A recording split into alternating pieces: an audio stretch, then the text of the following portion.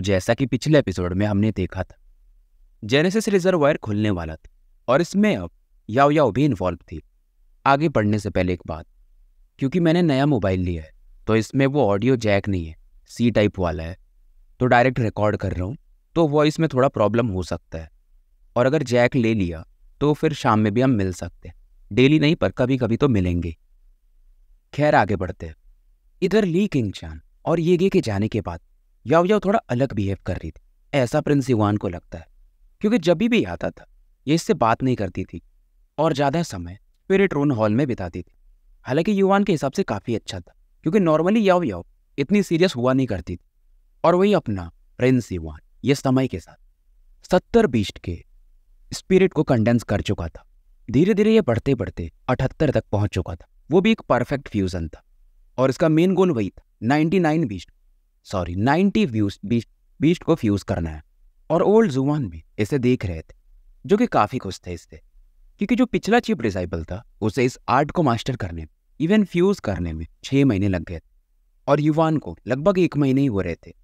युवान दोबारा से पर्पल केव ड्वेलिंग में वापस लौट, और याओ याओ, ये अभी भी स्टडी कर रही थी। ये इसे डिस्टर्ब नहीं करना चाहता था। पर याओ याओ खुद बोलती कि स्वर्ड पीक से ज़्यादा डरने की ज़रूरत नहीं है। उनका मेन फोकस या मेन पावर हम कहें कॉन्गशेंग और जाउजू नहीं है, बल्कि उनकी टीम है। और ये बताती है कि अगर मैं कॉन्गजेंग और जाउजू दोनों को फाइट कर लूँ एक साथ तो भी हम उन्हें नहीं हरा सकते। क्योंकि हमारा सेंट जेनेसिस भी, इनकी संख्या भी कम है और हम वीक भी काफ़ी ज़्यादा सीधा सीधा कहे तो स्वॉर्ड पीक के पास दस हज़ार के आसपास डिसाइपल है। और याओ यो कहती है, हम दिमाग से खेलेंगे। युवान को समझ में नहीं आ रहा था। इस दौरान याओ यो एक एंशियन टेक्स्ट निकालती है और युवान की तरफ़ इसे देती है। ये एक शायद जेनेसिस बाउंड्री था, जो कि दस हज़ार के आसपास के आर्मी को भी रोक सकता है। और इसका नाम था हेवन डिसओरिएंटिंग बाउंड्री बेसिकली एक ऐसा बाउंड्री था, जो कि एक इल्यूजन क्रिएट कर देता है। तो इससे निकलना मुश्किल होता है। पर युवान इस बात पे हैरान था कि ये दस हज़ार लोगों को ट्रैप कर सकता है। क्योंकि नॉर्मल डिसाइपल थोड़ी है। इनका भी पावर अल्फ़ा के फिफ्थ लेयर सिक्स लेयर या उससे ऊपर भी हो सकता है। हालाँकि इनको ज़्यादा देर तक ट्रैप नहीं किया जा सकता, पर इतना समय के लिए ट्रैप किया जा सकता है। जितना में हम इन्हें हरा दें और यो इसे इशारा करती है कि तुम्हारे बॉडी में जो ड्रैगन की है, उसकी तरफ़ एक्वेटिक बीस्ट अट्रैक्ट होते हैं, उनको तुम यूज़ कर सकते हो इन लोगों पे। मतलब वो बीस्ट ही इन्हें हरा देंगे, एक बार ट्रैप करने के बाद। और यो पूरा प्लान इसे समझा देती है कि तुम बीस्ट वगैरह को इस बाउंड्री के अंदर लेके जाओगे, जहाँ पे आएगा असली मज़ा। और इन बीस्ट से फाइट करने में स्वर्ड पीक वाले वैसे भी अपनी एनर्जी वेस्ट कर देंगे। युवान को अब समझ में आता है कि यो कितनी खतरनाक लेवल की जीनियस है। अब यो एक चीज़ ये बोलती है, पर इसे सेटअप करना थोड़ा कठिन है। मुझे हेल्प की ज़रूरत पड़ेगी। युवान तुरंत ही बोलता है, क्या मैं नहीं कर सकता हूँ? अब याओ याओ बताती है, जिसका स्पिरिट जो हो, वो एडवांस कॉर्पोरियल स्टेज पे हो, वो ज़्यादा सही हो। मेरे हिसाब से ये गे ज़्यादा अच्छा है। अब युवान को आता है गुस्सा, और ये कहता नहीं नहीं, वो तो हमारे सेंट जेनेसिस पीक का है भी नहीं। याओ याओ देख रही थी, और इसके मज़े ले रही थी। और युवान इससे कहता है, टेंशन मत लो, मैं काफ़ी मेहनत करूँगा, और एडवांस कॉर्पोरियल स्टेज पे पहुँच जाऊँगा। या यो फिर से स्माइल करती है और कहती है, फिर मेहनत करो, नहीं तो फिर मुझे येगी की मदद लेनी पड़ेगी। और ये इसे बताती है कि वो जो इसने इसे जार दिया था स्पिरिट रिफाइनिंग सलाइव उसमें जो भी कुछ प्रॉब्लम्स थे, ये उन्हें लगभग रिजॉल्व कर चुके पर या यो बोलती है, फिर भी उसमें एक प्रॉब्लम है। बाउंड्री की बात अब ये कर रही थी, क्योंकि कुछ और डिसाइपल्स हैं जो कि अल्फ़ा एट्थ लेयर में और उन्हें ट्रैप करना थोड़ा कठिन हो और याव याव बताती है, जैसे कि तुम्हें बाई नीचे को संभालना ही पड़ेगा, बाकी दो को तो मैं और टुनटुन देख लेंगे। और तुम अगर ऐसा नहीं कर पाए तो जिनको भी हमने ट्रैप किया है, उन्हें बाई लीजिए छोड़ा ही देगा। युवान भी इस समय, थोड़ा एकदम एरोगेंटली बोलता है मतलब अंदर के कॉन्फिडेंस से, कि अगर बाई लीचे वो मुझे हरा दिया तो मैं चीफ डिसाइपल का पोजीशन ही छोड़ दूँगा। युवान जानता था, जिस दिन जेनेसिस रिजर्वायर खुलेगा, उस दिन कांगजुआन सेक्ट में एक अलग ही तहलका होने वाला है, क्योंकि याओ याओ अब सीरियस है। समय गुजरने लगता है और पंद्रह दिन और निकल चुके थे, और युवान ने अब तक 89 स्पिरिट को कंडेंस कर लिया था और आखिरी बीस्ट की बारी थी। उसके बाद ये, जो सीड का इनिशियल स्टेज होता है, उसमें एंटर कर जाएगा। इधर युवान, आखिरी बीस्ट को भी, यानी उसके स्पिरिट को मर्ज कर रहा था और ओल्ड जुवान देख रहे थे और हैरान थे कि ये बंदा गजब ही है। इवन युवान को, ये आखिरी बीस्ट को मर्ज करने में अच्छा खासा प्रेशर लगाना पड़ता है। इसकी नसें साफ़ देखी जा सकती थी, क्योंकि ये वाला जो बीज था, ये काफ़ी ज़्यादा रजिस्ट कर रहा था, पर युवान रिफाइन नहीं कर पा रहा था। तभी पीछे से ओल्ड ज़ुबान की आवाज़ आती। कि अपना ब्लड यूज़ करो और इसे रिफाइन करो। युवान तुरंत ही इसमें अपना इसेंस ब्लड मिलाता है और ये जो वॉयल वॉयलेंट रूल था और थी, ये धीरे धीरे शांत होने लगती और जैसे जैसे मिक्स करता है, एक वर्चुअल टाइप और यानी धुंध टाइप इसके बॉडी में एंटर करती और ये एक अलग और फील करता है। इसका जो सीड था, वो कंप्लीट हो चुका था। और ओल्ड ज़ुबान इसे बता, जब तुम नाइन कोर बीस्ट स्पिरिट को इसमें और मर्ज कर दोगे तो ये पूरा कंप्लीट हो जाएगा। पर युवान भी काम जाता है कि नब्बे बीस को मिलाने में, इसकी हालत खराब हो गई और ये नाइन कोर और चाहिए। और ओल्ड जुआन भी बता कि कोई जल्दी की ज़रूरत अब फ़िलहाल तुम ओमेगा स्पिरिट के पावर को यूज़ कर पाओ। चलो तुम्हारा वैसे भी पहले से कोई वेट कर रहा है। युवान जब यहाँ से बाहर निकलता है तो ये जाऊ टाई, जांग यान और लू यान वगैरह को देख। अब लू यान इसे बताती है कि बाई लीचे ने फिर से किसी को भेजा कि अगर तुम्हें अपना इरादा चेंज करना हो, नहीं तो फिर स्वर्ड पीक वाले, भयंकर बैटल करने वाले पर युवान भी, इन्हें अब पार करने लग, और एकदम हीरो के स्टाइल में बोल, कि हमारे किसी डिसाइपल्स को भेज दीजिए स्वर्ड पीक में, और बाई नीचे से कहने को बोलिए, कि मैं भी उन्हें आखिरी मौका दे रहा हूँ। आके माफ़ी मांग ले वो, नहीं तो हाल अच्छा नहीं होगा। अब इसकी ये बात को सुनकर लूजान वगैरह हैरान थे खास करके ये बोलती क्या ये बंदा सीरियस है? और अगर ये फैल गया तो और भी खतरनाक बात और जाउटा ही बोलते हैं, हमें तो उसकी बात माननी ही पड़ेगी, हालाँकि वो हमारा जूनियर ब्रदर है, पर साथ में वो चीफ डिसाइपल भी है। क्योंकि लू यान को भी यही लगता था कि चलो प्रिंस युवान सामने वाले को संभाल सकता और उनकी आर्मी काफ़ी बड़ी है, ये कैसे संभालेंगे? इधर सीन शिफ्ट होता है, और स्वर्ड पीक को दिखाया जाता है, और यहाँ पर कॉन्ग सिंह जाउजू और बाई नीचे बैठे हुए थे। बाकी दो तो चेस खेल रहे थे, और बाई नीचे इन्हें ध्यान से देख रहा और इसे वो न्यूज़ मिल चुका जो जाऊ युवान ने कहलाया और ये सभी हंस रहे थे, और बाई लीचे ये प्लान करता कि स्वर्ड बिग के सभी डिसाइपल्स को मोटिवेट करना है। तो थोड़ा मिर्ची मसाला डाल करके सभी डिसाइपल्स को बताएगा ताकि वो ज़्यादा ही एरोगेंट हो जाए और गुस्से में फाइट करे। और ये मन में ही मन काफ़ी खुश हो रहा था कि जाव जाव यू तुम सच में अभी बच्चे हो। इधर युवान को दिखाया जाता जो कि पहले से गैस कर चुका था और याव याव से बात कर रहा था कि मैंने एक मैसेज भिजवाया है बाई लीचे को और पक्का पता है मुझे कि थोड़ा मिर्च मसाला डाल के सभी को सुनाएगा और इसका फ़ायदा हमें मिले, क्योंकि वो लोग थोड़ा इम्पेशेंट होंगे तो बाउंड्री में उन्हें अट्रैक्ट करना ज़्यादा आसान हो जाएगा। और याव याव भी खुश हो रही कि मानना पड़े। तुम उनके हेडरेट को अपने पावर के रूप में इस्तेमाल कर रहे हो। और युवा इस दौरान ये भी बोल कि बाकी चीज़ें तो आप पे ही डिपेंड करता है। वो हैवन डिसओरिएंटिंग बाउंड्री वो सक्सेसफुल होना चाहिए। याव याव भी एकदम अंगड़ाई लेते हुए कहती मेरे साइड से तो छोड़ दो। बस तुम ये बताओ कि तुम्हारा सेंट स्पिरिट सीड जो तुम बना रहे थे, उसका क्या चल रहा है? और अब दो हफ़्ते बचे तो फ़िलहाल अपने स्पिरिट पे फोकस करो। नहीं तो मुझे ये की मदद लेनी पड़ेगी। युवान फिर से कहते कि आप टेंशन मत। दस दिन, पंद्रह दिन में मैं एडवांस कॉर्पोरियल स्टेज पे एंटर कर जाऊँगा। और इधर याव याव वो जो जेड बोटल था, युवान को दे देती है। युवान देखता है इसे। ये पहले से थोड़ा हल्का हो चुका था, क्योंकि याव याव ने इसे इसके हिसाब से बना दिया था। और याव याव कहती है, अगर वहाँ पे फेल हुए हम तो मैं तुम्हें छोड़ूँगी नहीं। इधर दूसरी तरफ़ ट्वाड पीक के जो भी लड़के थे, वो काफ़ी गुस्से में थे कि वो युवान ऐसी बातें कर रहा है कि हम उसके सामने कुछ नहीं है। मतलब बाकी बहुत सी चीज़ें इसने ऐड की वैसे भी ये लोग काफ़ी गुस्से में थे, क्योंकि लिंगजुन ने पहले इनको काफ़ी डांट लगाई। युवान होंग वगैरह हार गए थे उसके पहले। चीफ डिसाइपल कॉम्पिटिशन से पहले वाले, पर्पल डिसाइपल कंपटीशन में इनके कई सारे डिसाइपल्स को प्रिंस इवान ने अकेले हरा दिया तो इनका एक ही इरादा कि इस बार तो हम सेंट जेनेसिस पीक को अच्छे से ह्यूमिलिएट करेंगे। और ये जो न्यूज़ पूरे कांग्सवान सेक्ट में फैलने लगा और सभी को यही लग रहा था कि ये जो नया डिसाइपल है सेंट जेनेसिस पीक, ये थोड़ा ज़्यादा ही एरोगेंट है। और ये न्यूज़ ली किंग चाँद तक भी पहुँच जाती है। ये भी इसे सुनकर के हैरान थी कि इवान क्यों उड़ती तीर लेना चाहता है पर इसे हमेशा लगता था, ये बंदा कुछ ना कुछ प्लान तो किया हो इधर कांग्स वन पीक को दिखाया जाता है, जहाँ पर गु होंगी बैठी थी और इससे कई लोग बातें कर रहे थे कि आपका ये फ्रेंड प्रिंस इमाल ये अलग ही कैरेक्टर है और कुछ लोग तो मज़े भी ले रहे थे। पर होंगी ज़्यादा रिएक्ट नहीं करते। फिर भी इससे भी लगता था, यार ये काम थोड़ा कठिन होगा। युवान सोच कह रहा है? बाकी इधर डिस्कशन चल रहे थे और वहीं युवान अपने केव डिवेलिंग में लगातार प्रैक्टिस में लगा हुआ और जब से इसने ये गोल्डन लिक्विड यूज़ किया था, इसका जो स्पिरिट वो और भी ज़्यादा कंडेंस होने लगा समय बीतते जाता है और जेनेसिस रिजर्वायर खुलने का समय काफ़ी करीब आ चुका था। कुछ दिन और बीतते हैं और बेल की आवाज़ आती है, आज ही का दिन था, जिस दिन जेनेसिस रिजर्वायर सेरेमनी ये स्टार्ट होने वाला था। और इस समय सेंट जेनेसिस पीक को दिखाया जाता जाउटाई बाकी लोग, साथ में याव याव भी टुनटुन के साथ खड़ी थी और जाउटाई इस समय याव की तरफ़ देख रहा था। कि जूनियर सिस्टर जूनियर ब्रदर युवान कहाँ हैं? अभी तक आए नहीं। और अगर लेट हुआ तो हम समय पे पहुँच भी नहीं पाएँगे। यह यह बताती है कि वो अभी भी कल्टीवेशन में बैठा हुआ इधर बेल बज रहा था और जाउटाई वगैरह टेंशन में थे कि फिर से इनका मज़ा लिया जाए। अगर ज़्यादा लेट हो गया तो। पर तभी अचानक एक बंदा काफ़ी तेज़ी से इधर पहुँचता है और जाउटाई के शोल्डर पे अपने हाथ रख के कहता है सॉरी मैं थोड़ा लेट हो गया। इधर जाओ युवान की तरफ़ याव याव देखती खास करके इसके आईब्रोज और कहती नॉट बैड तुमने मुझे निराश नहीं सीधा सीधा इशारा यही था कि ये लौंडा अपना एडवांस कॉर्पोरियल स्टेज में पहुँच चुका था।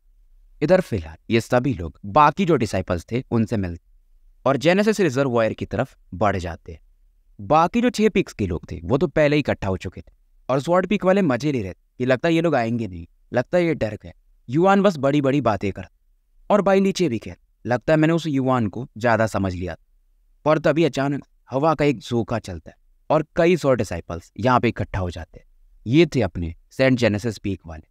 और सबसे आगे में टीचर शैन खड़े थे। सामने में सेक्ट मास्टर किंग या इन्हें सभी लोग ग्रीट करते हैं।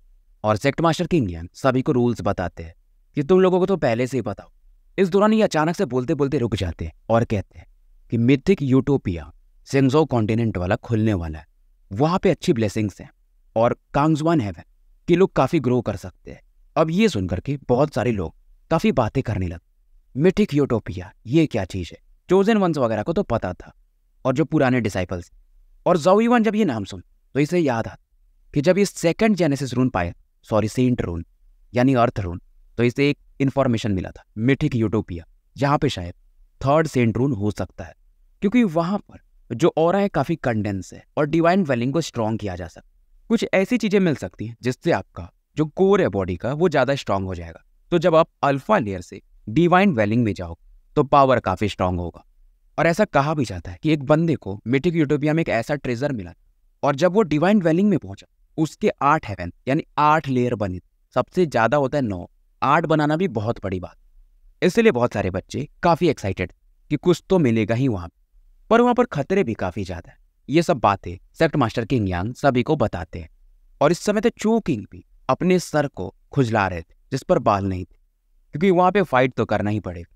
युवान भी इस समय यव यव की तरफ़ देख रहा था, क्योंकि मिथिक यूटोपिया के बारे में और वो थर्ड रोन के बारे में इसे पहले ही डिस्कस कर चुके और पहले वो जो जगह थी, वो यहाँ के एंसेस्टर कांगजुआन ही कंट्रोल करते थे।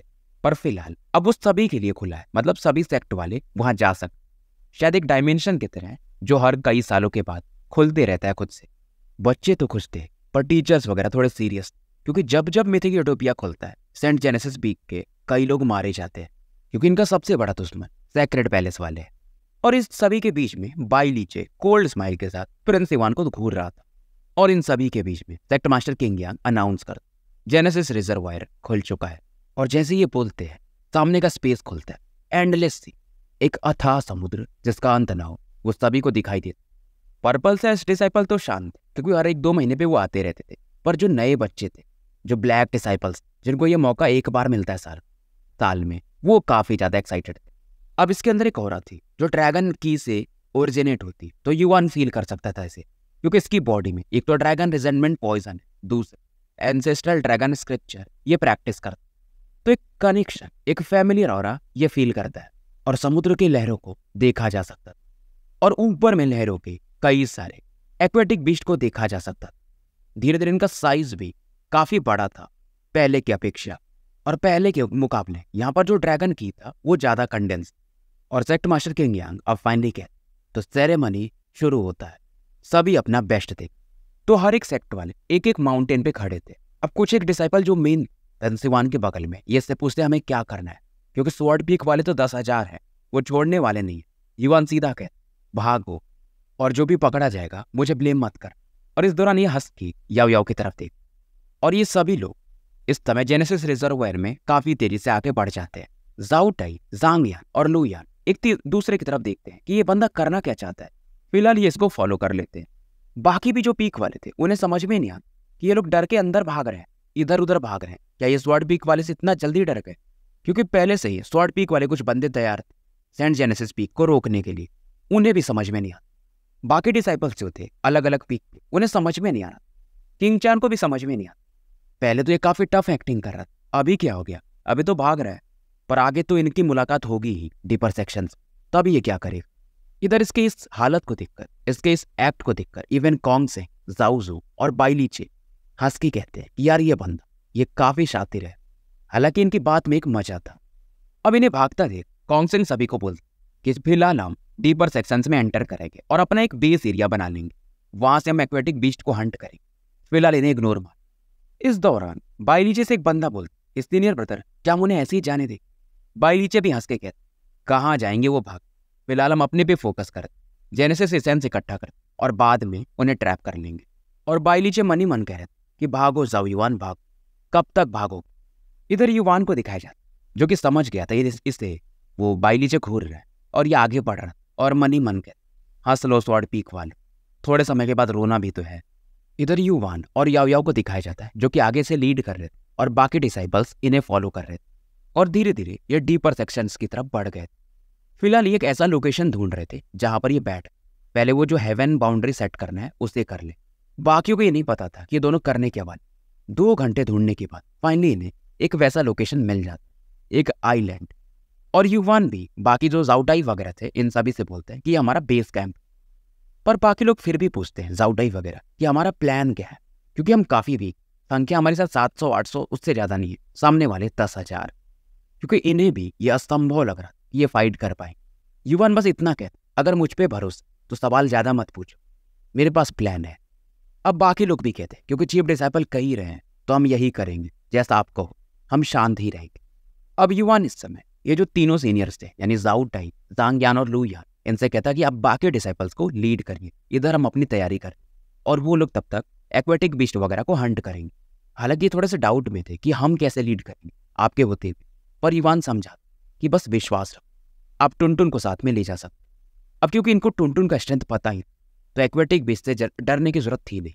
फ़िलहाल ये बाकी लोग बीस्ट हंट करने निकल जाते और युवान और याओ यहाँ पर बाउंड्री को सेटअप करने में लग जाते हैं। जब युवान फिर भी कहता है, लगता है इन्हें अभी भी हम पे विश्वास नहीं है। क्योंकि अभी भी ये नर्वस याव याव भी युवान से कहती है, तुम भी गजब बात करते हो। हम सात आठ सौ लोग और वो दस हज़ार। ये लोग चाहे भी तो कैसे मान सकते खुद ही सोच के देखो। और अगर तुम्हें उनका दिल जीतना है तो हमारा प्लान सक्सेसफुल होना चाहिए। और याव याव बताती है कि हमें बाउंड्री सेट करने में कम से कम छः दिन जाएँगे। और एक दूसरा लोकेशन ढूंढ, कि ये हमारा लोकेशन उनको लगेगा, पर हम दूसरे लोकेशन पे बाउंड्री सेटअप करेंगे।